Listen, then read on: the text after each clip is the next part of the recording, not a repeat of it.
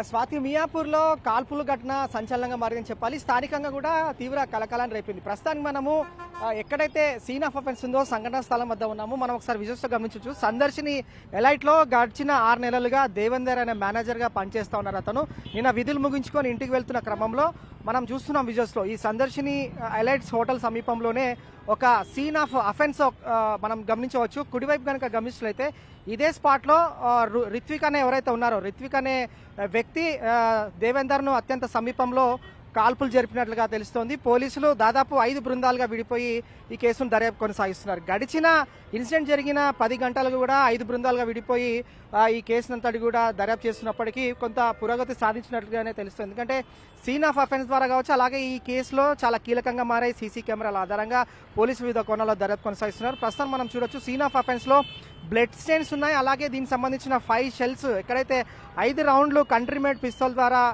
రిత్విక్ అనే వ్యక్తి ఎవరైతే కాల్పులు జరిపాడో వాటికి సంబంధించి కూడా కొన్ని ఆధారాలు సేకరించడం జరిగింది. దాదాపు సీన్ ఆఫ్ అఫెన్స్ నుంచి ఒక పది ఆధారాలు సేకరించినట్లుగా నమూనాలు కూడా అంటే ఇక్కడ పారామీటర్స్ ఉన్నాయి బ్లడ్ స్టెయిన్స్ ఉన్నాయి ఎక్కడైతే షెల్స్ బుల్లెట్స్ కాల్పులు జరిపిన తర్వాత షెల్స్ ఏవైతే ఉంటాయో వాటిని కూడా రికవర్ చేశారు. అయితే ఈ స్పాట్లో మాత్రం కాల్పులు జరిపిన క్రమంలో ఇక్కడ సీసీ కెమెరా ఫుటేజ్ మాత్రం క్యాప్చర్ కాలేదు. మనం చూడొచ్చు ఇది సందర్శిని హోటల్ ఆనుకొని ఉన్న ఈ గల్లీ లైన్లోనే టూ కెమెరాస్ కూడా టూ డిఫరెంట్ పొజిషన్లో ఉన్నాయి. మరోవైపు ఎడమవైపు సందర్శిని ఎలైట్ హోటల్కి వస్తే కనుక అక్కడ నుంచి లాంగ్ డిస్టెన్స్లో కార్నర్లో రెండు సీసీ కెమెరాలు ఉన్నాయి. ఆ సీసీ కెమెరాల ఆధారంగా కొన్ని విజువల్స్ కూడా క్యాప్చర్ అయ్యాయి. మొదట ఇక్కడే దేవేందర్ను రిత్విక్ కాల్చిన తర్వాత దేవేందర్ కొద్ది దూరంలోనే అంటే ఇది హోటల్ సందర్శిని హోటల్ ఎదురుగానే రిత్ ఎక్కడైతే దేవేందర్ ఉన్నారో దేవేందర్ ఇదే స్పాట్లోనే అతను కుప్పగూలిపోయాడు అతన్ని హాస్పిటల్ షిఫ్ట్ చేసినప్పుడు ట్రీట్మెంట్ తీసుకుంటూ మృతి చెందాడు. ఈ స్పాట్లో సీన్ ఆఫ్ అఫెన్స్లో కూడా దాదాపు మూడు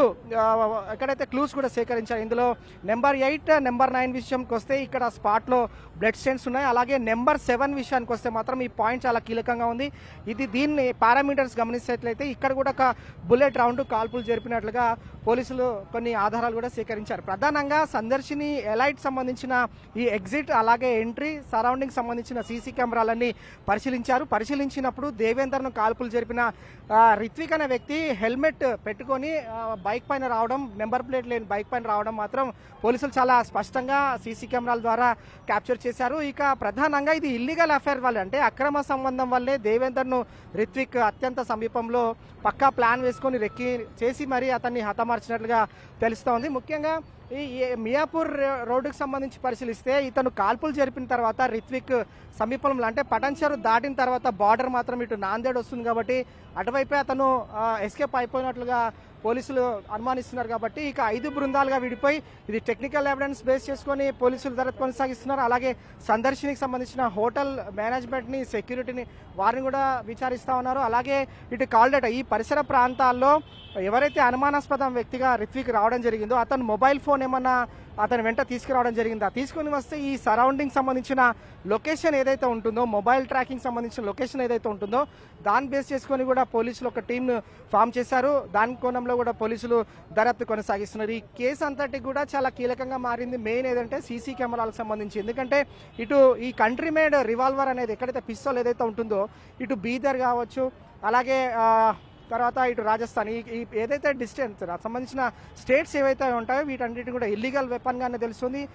అతను పక్కా ప్లాన్ వేసుకొని సమయం అంటే నేను రాత్రి సుమారు పది గంటల ప్రాంతంలో దేవేందర్ పనులు ముగించుకొని బయటికి వస్తున్న క్రమంలోనే నేరుగా రావడం స్కూటీ పైన అతను చాలా అత్యంత సమీపంలోనే పాయింట్ బ్లాక్లో దాదాపు ఐదు రౌండ్లు కాల్పులు చేయడం జరిగింది.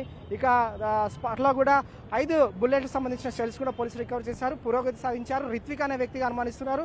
పోలీసులు ఏ క్షణంలో అయినా అతన్ని అదుపులోకి తీసుకొని విచారించే అవకాశం కూడా కనిపిస్తుంది. స్వాతి.